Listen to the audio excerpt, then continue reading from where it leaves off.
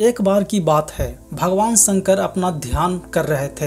तभी माँ पार्वती आती हैं और भगवान से बोलते हैं कि मुझे एक सोने का महल चाहिए। तो भगवान शंकर ने सोने का महल देने का वादा कर दिया। तभी भगवान भोले ने माँ पार्वती के लिए एक शानदार सोने का महल बनवाया, जिसे देखकर माँ पार्वती बहुत ही खुश हो गई थी। तब भगवान गृह प्रवेश के लिए रावण को पूजा करने के लिए बुलाए थे और रावण ने जब इस महल को देखा तो उसके मन में लालच पैदा हो गई।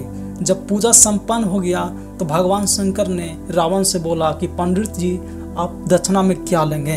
तो रावण ने बोला कि, मुझे दक्षिणा में इस महल को दे दिया जाए। तभी भगवान भोले ने उस महल को, रावण को दे दिया, जिसे लेकर रावण ने लंका चला गया, जिसे आज भी सोने का लंका के नाम से जाना जाता है।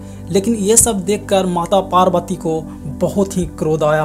तभी रावण को माता पार्वती ने श्राप दिया कि ये सोने का लंका नहीं बचेगी, जलकर राख हो जाएगी। और उसी श्राप के कारण हनुमान जी ने लंका को जलाकर राख कर दिया था। दोस्तों, ये जानकारी आपको पहले से पता थी, अगर नहीं थी तो हमारे चैनल को सब्सक्राइब और वीडियो को लाइक ज़रूर करें।